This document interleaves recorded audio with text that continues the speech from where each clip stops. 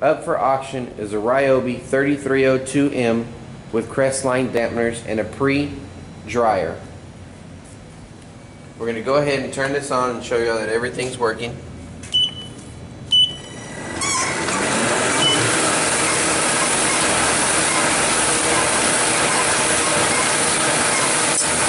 Y'all can see it is running paper through. We don't have any ink on, but showing y'all that the machine is working. You can stop your sheets here. Start your feed.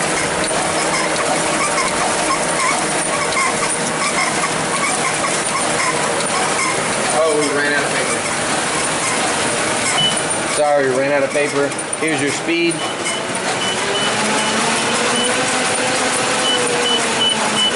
Counter. Emergency stop. Again, that's a Ryobi 3302M with Crestline dampeners and a pre-dryer.